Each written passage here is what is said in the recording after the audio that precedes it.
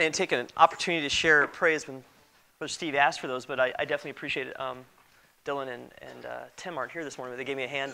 Moved, uh, moved a couple of bunk beds over to the, the homeless shelter for some families that needed those. So appreciate everybody that, that's willing to jump in and help wherever help is needed on a, on a frequent basis. That happens all the time. So appreciate that. Um, this morning's kind of a strange morning in, in some ways. I, I, I kind of hope um, in many ways that this message is completely irrelevant to, to many of you, um, which sounds weird. Um, but we're going to talk about something that's, that's kind of powerful and, it, and it's, it, it, it, kind of pushes deep a little bit. Because we're going to talk, talk a little bit about, um, about family. Um, and I know sometimes um, that, that cuts us close, and, and sometimes it, it speaks into some areas of, of hurt or, or hardship for some of you. But um, this morning, uh, you know, it's, it's interesting when you talk with people, we are all shaped in some fashion, in some form, by our upbringing. It just is. The people that are in our lives or the people that are missing from our lives. Um, it, it's, we've been, our men's fraternity, it's, it's been a neat journey kind of walking through that, kind of learning a little bit more about um, just our own upbringing and how that shapes us and, and, into who we become and, and as God kind of works in concert with that. Um, so this morning, you know, the, I'd, I'd, like, I'd love for everybody to kind of be here to kind of say, hey, you know, I had a perfect childhood. Um, you know, uh, everything was great. You know, dad was home all the time. You know, uh, during the day, uh, you know, uh, he came home at the end of the day, and mom tucked us into bed, and, and my brothers and sisters were my best friends, and all that kind of stuff. Um, that may not resemble your childhood at all. And one of the things I think is important for you to know is that you're not alone in that. Um, if, you, if you read through the most famous family tree in Bible, you'll find that there is significant and serious damage in the most famous family tree in the Bible significant and serious damage there. Let me just let me give you a part of this lineage. Adam accuses his wife, Eve, right away. Cain kills his little brother, Abel. Abraham lied about his wife Sarah. Rebekah favored her youngest son Jacob. Jacob would lie to his father Isaac, cheat his brother Esau, favor his son Joseph, and raise a gang of degenerates. That's the famous family tree. And guess who else comes in this family tree at some point? Jesus shows up in this family tree down the, so I just want you to know, I mean, if that resemble, you know, if there's, if there's struggle and difficulty and, and, and damage in your family tree, you're not alone. Actually, if you, if you spend some time and you start to read through Joseph's family tree, you'll find more heart-wrenching stories than heartwarming stories. There's just horrible, heart-wrenching stories in this family. Um, you think about Joseph in his story, and that's where we've been over the last several weeks, what happened to him? He obviously is abandoned by his brothers. Did he deserve for that to happen to him? Did he deserve to be abandoned? No, probably not. He, I mean, he caused some friction. He, he obviously bragged about his dreams in front of his brothers, which probably didn't go over well, and he kind of tattled on them because they weren't doing the right thing, and, and they got upset with him. But it didn't, that didn't you know, mean it was right for them to kind of throw him into a pit, but that's what they, that's what they do. And the people that were supposed to look out for him, his older brothers, are the people that throw him into a pit and then sell him into slavery for pocket change. And so when you think about Joseph's brothers and the dysfunction and the damage that's there, the other thing, as I looking through their story, if there was ever anyone in the Bible that really could use some kind of like family and marriage counseling, it was Jacob, his father. Because think about this for a second. His first mistake was he married a woman he didn't love, Leah, in order to marry a woman he did love, Rachel. And, and to make matters worse, these two were sisters. That's not a good idea in anybody's playbook ever. If he had sat down for some marriage counseling, the counselor would have said, Do not do this. Whatever you do, do not do this. Don't, first of all, don't marry someone you don't love. Secondly, don't marry that person hoping you'll get it to the person you will eventually love. Um, and, and, certainly don't marry them if they're sisters. Um, the first sister, Leah, if you, if you look back through the story, through their history, Leah would have six sons and a daughter. Um, Rachel, and Leah's the first wife, the one he didn't love. The wife he does love, Rachel, has no children at all. And in that day and time, it was viewed as a blessing from God if you had a really large family. You were viewed as being blessed if you had a really large family. So, so Leah has six sons and a daughter. Rachel has no children. And so Jacob decides, you know, in order to give off the appearance that I'm incredibly blessed and my family's really big, he ends up sleeping with two servant girls to enlarge his family to the point of 10 sons and one daughter. There again, not, you know, marriage and family counseling, heavily needed in this, in this whole dynamic here. Rachel, his favorite wife, finally gives birth to his son Joseph, who becomes his favorite son. And then Rachel would later die giving birth to a second son named Benjamin. And she basically leaves Jacob with this dysfunctional household and really kind of a broken heart. That's who he loved, and now she was, she was gone. So you read through the story a little bit more, and you, you realize the way that Jacob copes with all of this dysfunction and heartache is he basically checks out as a parent. He just kind of checks out. That's how he copes with all of this dysfunction and this damage. He just steps out. And, and we start to see kind of signs of this when, when Joseph goes to his brothers. Remember the story? He goes to his brothers and, and tells the dream that, hey, you're all going to bow down to me. What, what was Jacob's response the first time? None. Didn't say anything. He didn't step in and say, hey, Joseph, that may be true, but let's, you know, let's tone it down. He doesn't say anything. He just stays silent. And then you see another little sneak peek in, in, the, in chapter 37 of Genesis when Jacob finds out that the older brothers have taken the sheep to go graze at Shechem. And that doesn't seem like a big deal. We read through these stories and we're like, okay, they took the sheep over to Shechem. Who cares? Shechem, they were told to stay away from Shechem.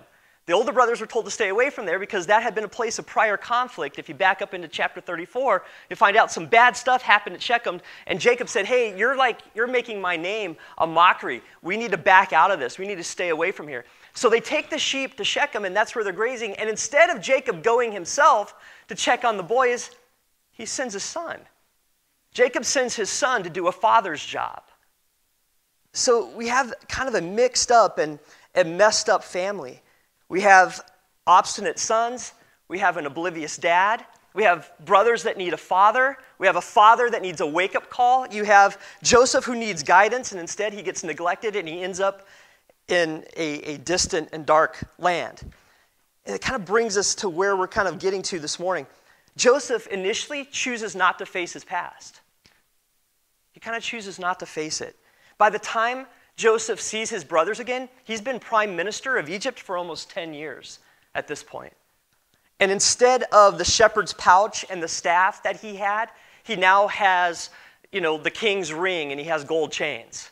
And, and instead of that, that, you know, that coat of many colors, that's been replaced with this royal robe. And Joseph has fitting in well to Egypt's culture, and he's running the show as the prime minister. And so he's done really, really well. But the thought that just kind of captured my, my attention a little bit is as you look at Joseph and how he ascended to where he was at, and the dynamic of his family, the thing that kind of just struck me is that Joseph could travel anywhere he wanted at this point, yet he chooses not to go back and see his family.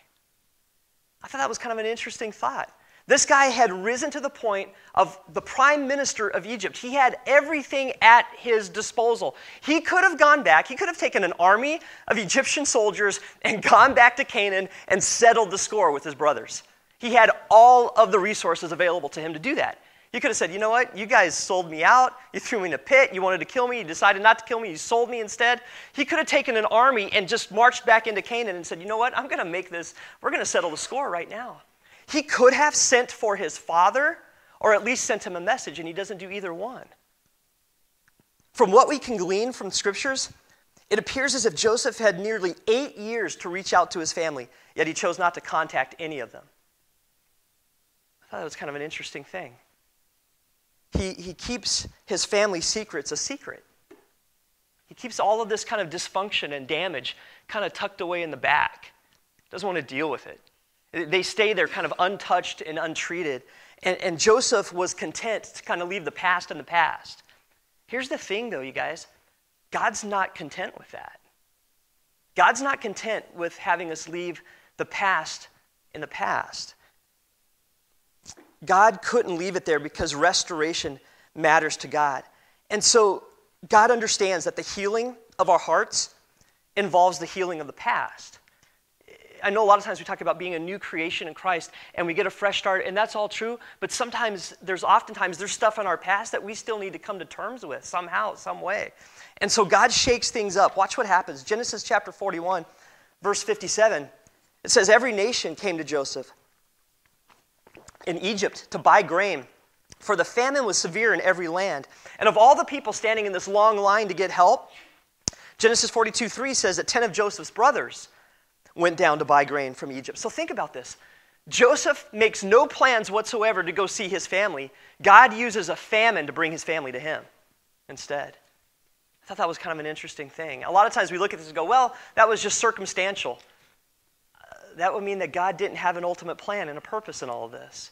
And while we talked a few weeks ago about I don't believe it was God's hand that caused the famine, God's not beyond using something negative or using a difficult situation to bring restoration and healing. He's not, a, he's not opposed to doing that.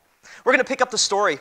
If you got a Bible with you there, um, Genesis 42, we're going to pick up in verse 4. And I didn't, print, I didn't have all these up because it's just kind of some lengthy reading, but we'll just get a bigger, kind of a bigger taste of, of what's happening now that these brothers have made their way into Egypt after not seeing Joseph. Actually, they haven't seen each other for 20 years. 20 years. Joseph was, was 17 when he was sold into slavery. He's 13 when he becomes the prime minister. They have seven years, oh, I'm sorry, did I say 13? Uh, 30. I'm sorry, he's moving back in time. He's 17 when he goes to Egypt. He's 30 when he becomes prime minister. There's seven years of, of wealth and abundance, and now the next seven years of famine begins. So he's, it's been about 20 years since he's seen his family, and that's kind of where we pick up in verse 4 of Genesis 42. It says, But Jacob did not send Joseph's brother Benjamin with his brothers, for he thought something might happen to him. The sons of Israel were among those who came to buy grain, for the famine was in the land of Canaan. Joseph was in charge of the country. He sold grain to all its people. His brothers came and bowed down before him with their faces to the ground. And when Joseph saw his brothers, he recognized them. And I just want us to press pause for a moment. I wonder what went through Joseph's mind the moment he recognized he saw those, saw those older brothers. I, I, I just wonder kind of what went through his mind. You remember he had named his firstborn son Manasseh, God has made me forget? I have to imagine that somehow seeing others with the money in their hand, all of a sudden some pretty painful memories came, came back. I have to imagine, you know, hey, God has made me forget but that has brought back some painful, painful memories. The last time, think about this, the last time he had seen his older brothers, they were laughing and making a deal as he was begging for his life and being led into slavery in Egypt. That was the last time he had seen them. That was the last time he had heard anything about them. That was the last time there were any glances exchanged or words exchanged. It was as they were selling him into slavery. That was it. We're going to keep reading here. But he, Joseph treated them like strangers and spoke harshly to them. Where do you come from? He asked. From the land of Canaan to buy food, they replied. Although Joseph recognized his brothers, they did not recognize him. And, and you have to kind of understand the culture to understand why that probably was. He was now an Egyptian. Joseph was an Egyptian by all rights and, and, purposes. He was performing the functions of leadership within Egypt, which meant you kind of looked like, talked like, sounded like an Egyptian back in those days, the big thing was most of the leadership were bald. And they, they had like black wigs that they wore, and they had like black eye makeup. If you look back to some of the old pictures of Egyptians, that's what they look like. So this guy is 20 years older, kind of the black wig, the black eye makeup, you know, they, they're, they're not recognizing each other. There's, there's been a lot of time that's, that's elapsed. Verse 9 says Joseph remembered his dreams about them and said to them, You are spies. You have come to see the weakness of the land. He, he was kind of, he, he knew why they were there, but he was kind of putting it on them, saying, I know why you're here. You're here to spy out Egypt, to find out where our weaknesses are, that, so you can kind of mount an attack at some point. Verse 10 says, No, my Lord, your servants have come to buy food, they said.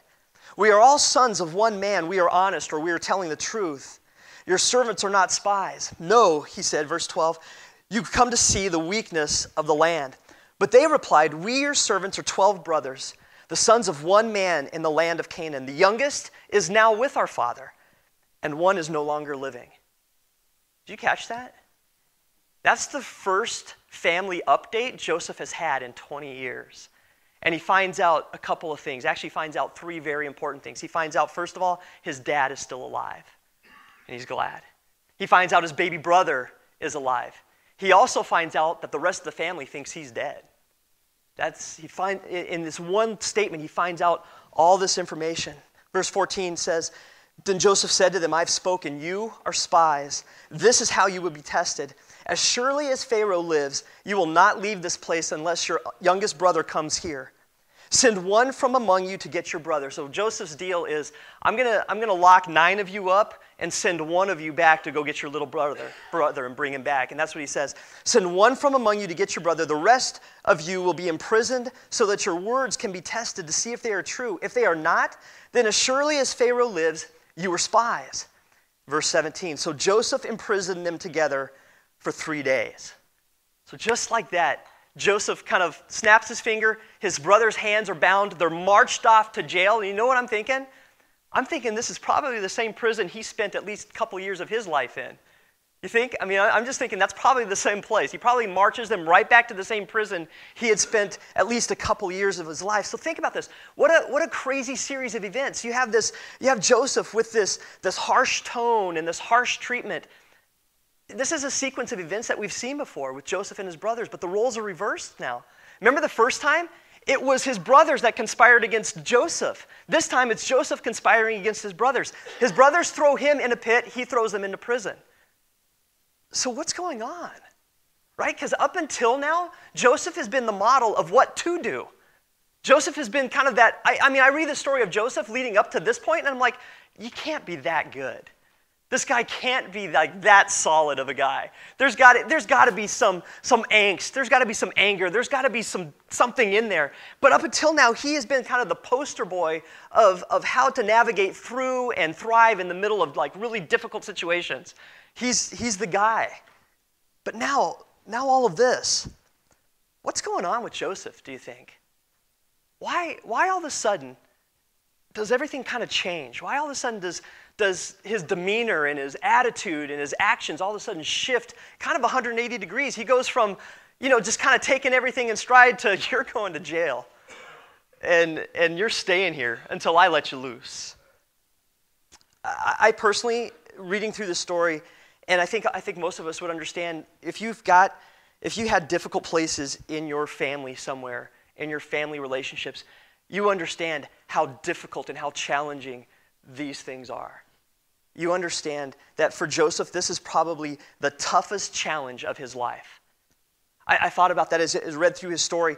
All of the things that Joseph faced, and they were difficult, I don't think any of them compared to this event. I don't think anything compared to seeing his brothers face to face once again and having to deal with all of this hurt and all of this hate, and it's kind of all mixed in. And now, what do I do with this? I think Joseph is just trying to, he's trying to get his bearings. He's just kind of like, man, I don't know what to do with this. I can handle famine relief. You know, I can handle being locked up in prison for a couple extra years and forgotten. I can handle all the assignments that Pharaoh throws at me. I can handle Mrs. Potiphar's advances. I can handle all this. What I can't figure out is how to deal with all this hurt and this hate, hate that mixes in when we're talking about family and the hurt that they've caused and the damage they've caused. What do I do with that? Joseph is just kind of struggling here.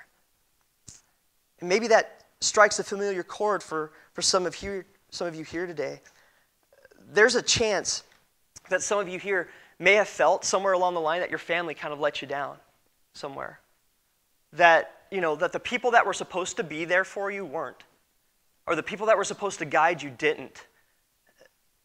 Like Joseph, you've, you've probably made the best of it. That's what Joseph did. He kind of takes all of this damage and he kind of makes the best of it. And he just kind of moves on. And, and, and, and the problem is, is he's, he's, kind of, he's kind of happy to leave Canaan in the rearview mirror. And a lot of us, that's what we do. We kind of take all of this hurt and all this heartache and all of this hardship stuff, and we go, man, I can't fix it. I'm just not going to dwell on it. I'm not, I'm not going to I'm not going to deal with it. I'm just going to bury it in the past, and I'm just going to move forward and not realize the impact that it's made and the, and the impact that it's, that it's taken in our lives. See, God loves us too much to let unresolved hurt and heartache continue unresolved. He loves us too much to let unresolved hurt and heartache remain unresolved. And here's what I'm learning in some, some very real ways God not only wants our heart, our whole heart, He wants our heart whole. There's a difference. There's a difference there because I think sometimes we, we push so much to just give God your whole heart. Well, that's great, but He's not satisfied with just that. He actually wants your heart whole. And, and here's why hurt people hurt people. Hurt people hurt people. Think about it for a moment. Have you ever wondered why you react so harshly? You ever wondered why you avoid conflict? You ever wondered why you have trust issues? You ever wonder why you, know, you try to please people so much? You ever wonder why that's there? Maybe it has something to do with unhealed hurt in your heart. God doesn't want us hurting, and He doesn't want us hurting others. And here's what we need to know God wants to help you for your sake and for the sake of those who come behind you. God wants to help you for your sake and for the sake of those that come behind you. Think through this hypothetical scenario with me for just a moment. What would happen? What would have happened if Joseph refused to deal with his brothers? What if he shunned the opportunity that God had given him through the difficulty of the famine? What if he shunned this opportunity? What if he just said, you know what? Instead of seeking an opportunity for healing, I just perpetuate the heartbreak in my family? What if he just he saw his brothers, he recognizes them, and instead of kind of confronting and dealing, he sees them and just kind of walks the other way and says, "I don't want anything to do with them. I am pushing myself completely away. I'm not going to deal with them and all the damage they caused." What would have happened? What's interesting is to, to understand and to see that God's plan for the nation of Israel depended upon the, com- the compassion of Joseph. God's whole plan for the nation of Israel depended upon Joseph's compassion. There was a lot at stake with this family and, and, and restoration that God was trying to seek for him and for that family. And the reality that we have to understand is that there's a lot, of, there's a lot at stake in each and every one of our families. And, and, and the right thing and the Christian thing not to do is just to forget about it and just step on. That's not, that's not what God does. That's not what he desires of us. He doesn't say, well, we're just going to forget about the heartache and the hurt and the pain. He doesn't say, well, I'm not going to deal with that. He says, no, I want to, I want to, be, I want to be introduced into that. I want to help heal and restore and make whole again. We read a story last week about these lepers that Jesus would come to and, and he heals them. Remember the story? There's 10 of them and nine of them don't come back, but one does. Do you remember what Jesus said at the very end of that story? He said, Your faith has made you whole. It's kind of an interesting thing. These other guys are healed, but only one of them left whole. We're reminded that's what God ultimately wants. He not only wants healing for us, He wants us whole, He wants us well. There's a lot at stake. There was a lot at stake with Joseph and his family. There's a lot at stake with you and yours. I, have shared um, before how my, my dad's father raised him and his brothers. I, I think I've shared that in times past. And in, in my dad's household, when he was a little kid growing up, there was a whole lot of labor, not much love. You were a workforce, in a sense, as a child in, in, in that household. And, and, and, and, the, and the reality is, he, my, my dad's father came by that honestly his father raised him that way, and his father raised him that way. And, I mean, it's just generational. You can kind of go back. There wasn't much love. You were just kind of a workforce. You did what you were told, and because you were told to do it, you weren't really appreciated. You were just kind of used and taken advantage of. Not a whole lot of love, but a whole lot of labor. I can remember as a child a completely different upbringing, though. I, I can remember my dad hugging us often and, and I, have told the story before. I, I'll never forget it as long as I live. He would get up from the table, the, the dinner table, to go get more coffee, which was his weakness. That I did pick up from him. Um, I, I, received that, that, that, that trait, I guess. But I remember him leaving the, the, table during dinner or whatever to go get some more coffee. And as he would, he wouldn't hesitate to, to just to kiss one of us kids on top of the head. He just did that. And, and I can remember I can remember asking him just shortly before Carrie and I were married, I remember asking him, Dad, how did you love us so well when you didn't have that in your own life? And I remember him telling me that, you know what? When I came to know Christ as my Savior and you kids were born, he said, I made a decision that with God's help, that lack of love that had been in my family was going to stop with me. And it did. It did. Maybe this morning, there's someone here that needs to make that same resolution in their own family. There may have been some pretty sad chapters in your family's history, but here's a truth that we need to embrace and, and a truth that we need to act on. Your history does not have to be your future. All of that generational garbage, I, I was going to say a different word, but that's a nicer word. Generational garbage can stop with you right here, right now. You can say, you know what, with God's help, it doesn't have to go on. I don't have to hand the hurt and the heartache off to someone else that I was handed growing up or as a kid. As I look at Joseph's story, I, I kind of believe that he restaged this pain from his past for a reason, because it gave him a chance to deal with the hurt. I think in some ways, he, he, I think, I don't know, per, the scriptures don't tell us that. I, I kind of wonder when he first, maybe he heard his brothers before he saw them, he picked up the Hebrew and he understood the dialect from his particular area. He knew their voice maybe before he saw, he saw them. And so I have to wonder in those few moments before he kind of addresses them, it was kind of that fight or flight idea. Do I just bail out on this whole thing and, and just ignore it and, and bury it in the past and just let the past be the past? Or do I actually kind of step into this and figure out my way through it with God's help? So I think by, by stepping back and, and re-engaging with his brothers, it gives him an opportunity to deal with the hurt. There was a, there was a phrase that I heard um, just recently, and it said, it went this way. It said, revealing leads to healing. And I thought about that, and, and I heard somebody make a comment the other day that said, until you're willing to kind of confront the hardship and the hurt, you can't get past the hardship and the hurt. I, didn't, I never understood that until recently. And I talk about my, my family a little bit, quite a bit, I guess. But my dad had, um, he, he was a Vietnam vet and had, had gone through Vietnam War. And, um, and that was stuff he never talked about with us as kids growing up. I, other than the fact I saw some pictures of him when he was like in good shape and had some like crazy guns, carrying a crazy gun. That was kind of weird. Um, but I, I didn't understand all that because he never talked about it. He never shared kind of his experiences and, and the things he saw and the things he went through in Vietnam. And it seemed like dad did a pretty good job of just burying that stuff in the past and raising us the best he could. And, and I thought he did a pretty good job. But as we come to find out, there was so much there that had taken its toll over his life that he had never really dealt with. And, and through different measures, uh, obviously he, he, he, had, he had struggled with PTSD, a post traumatic stress syndrome. He, dad was um, Dad was a tunnel rat, if that makes any, any, if you understand what that is. I didn't understand what it was until you start to read through it and you go, oh, oh my gosh. Um, you read through it. I'm not going to describe it all. It, it's, it's pretty graphic. But that messed with him. And, and for, instead of kind of dealing with that, he just kind of suppressed all that stuff, kind of buried it way in the back, and never really dealt with it. But over the last couple years, he's been having an opportunity to kind of, kind of deal with this hurt and anger and heartache and help other guys like that are you know soldiers from iraq and afghanistan deal with their stuff too and these and it was just really kind of amazing to see and i see in some ways joseph is kind of doing that. The past hurt in joseph's life kind of resurfaces and instead of burying it or ignoring it he chooses to address it. He kind of says hey instead of running away from the situation i'm going to deal with it.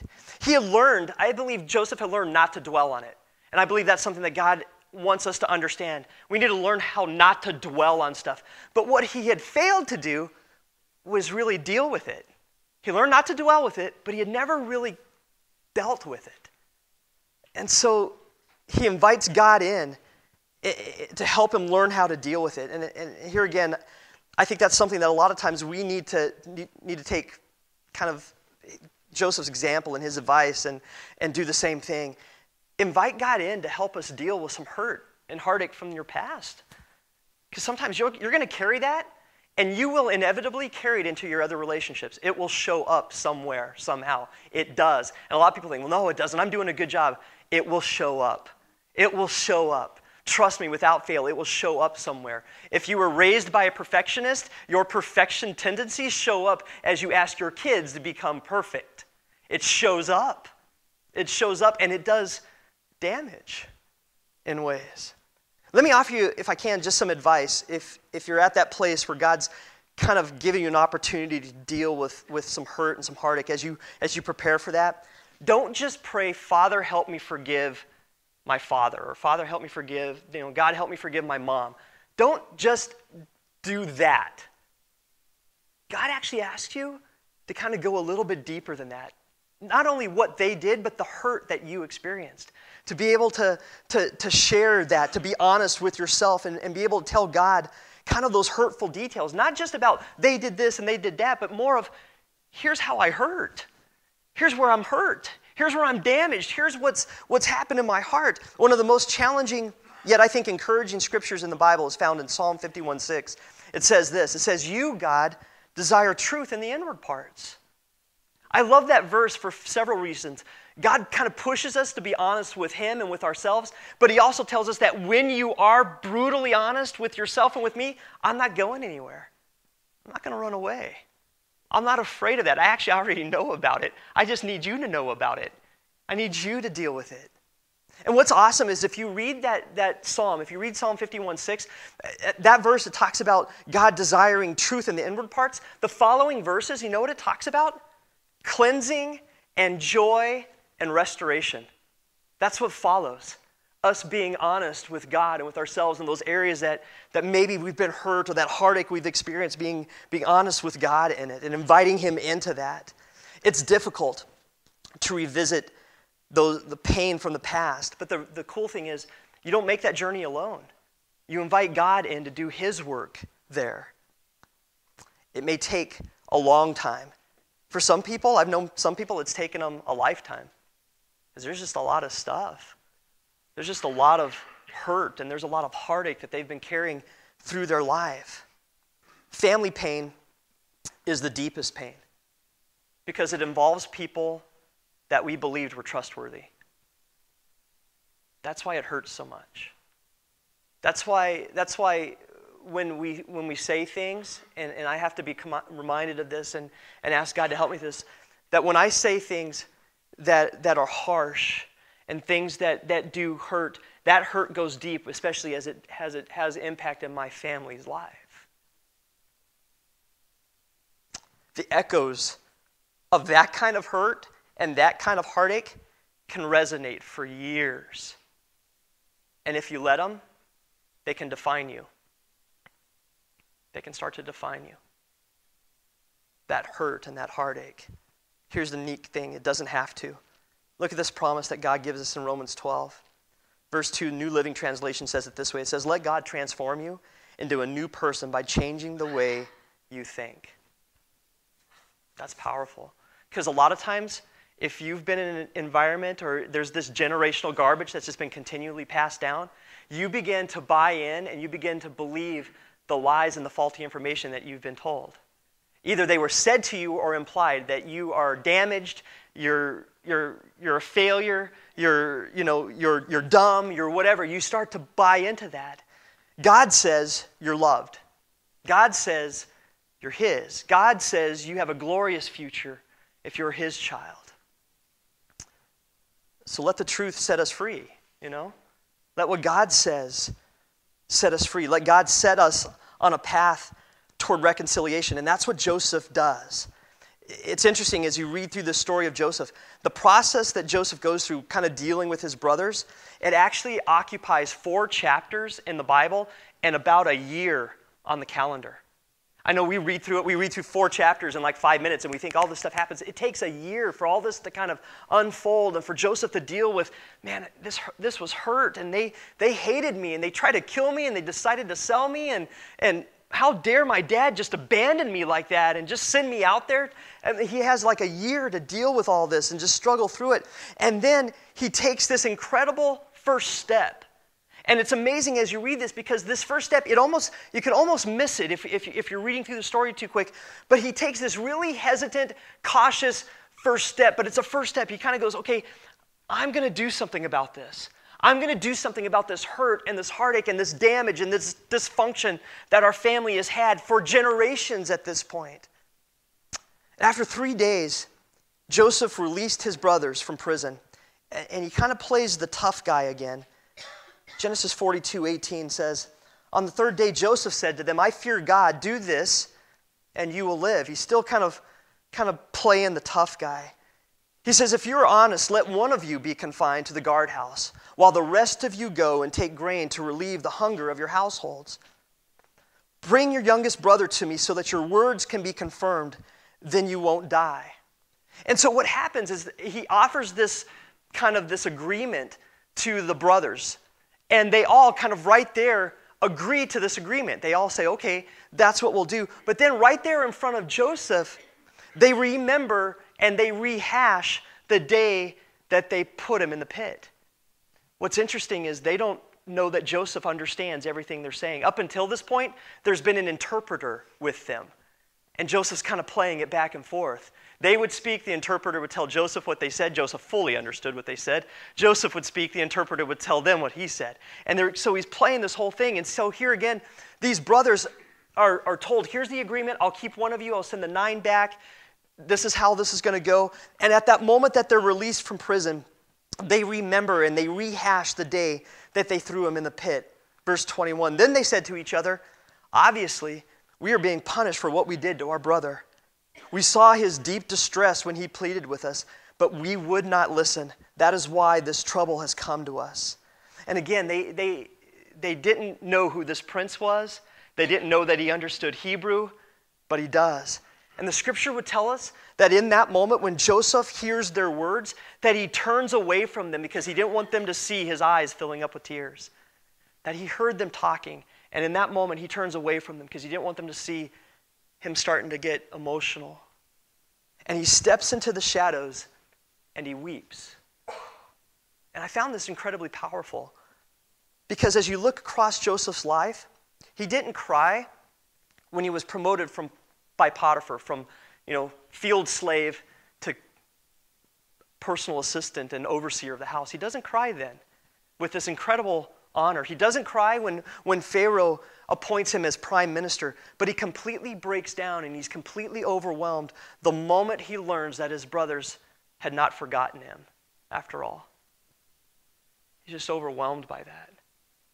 He thought his brothers hated him so much, and then just once he was out of mind and he was and out of sight, he was out of mind, that they wouldn't remember him any longer, they wouldn't care about him anymore, and he hears them speaking.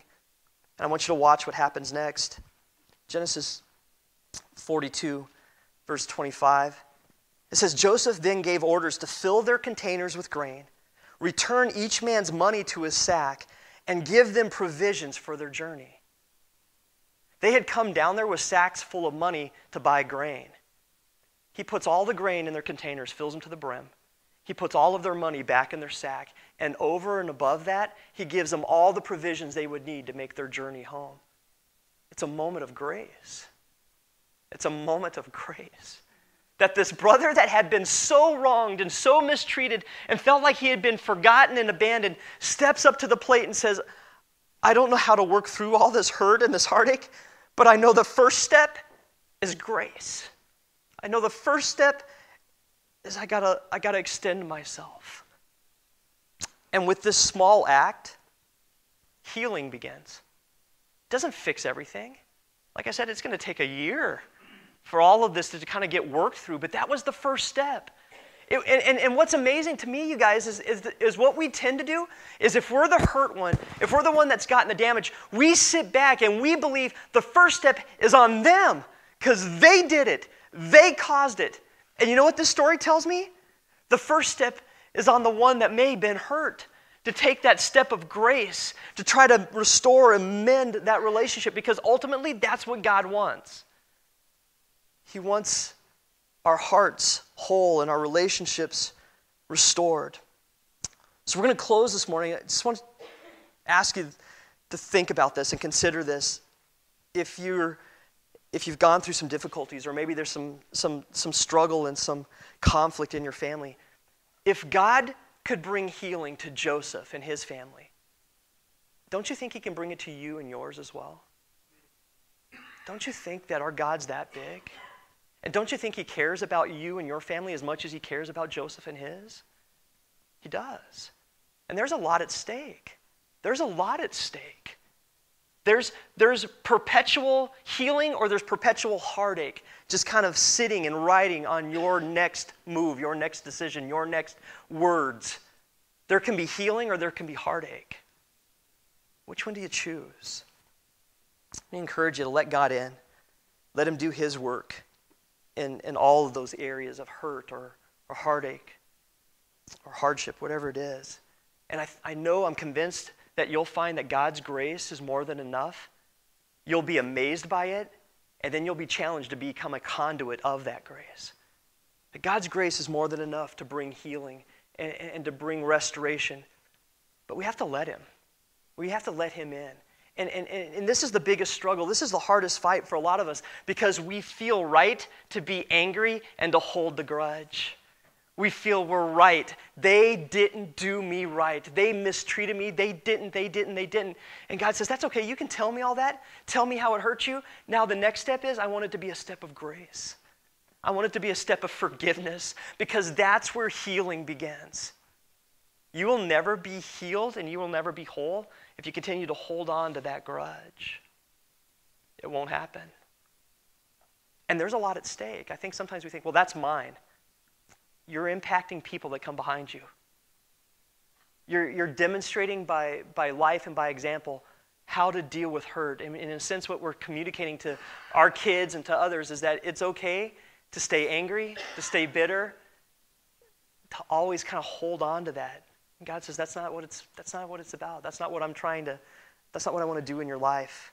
That's not what I did for you. It's not what I want you to do in up for others. We're going to stand. We'll sing a, a verse as we close this morning. Let me just remind you, let's be reminded this morning of this thought. God not only wants your whole heart, He wants your heart whole just be reminded of that this morning as we uh, prepare to close.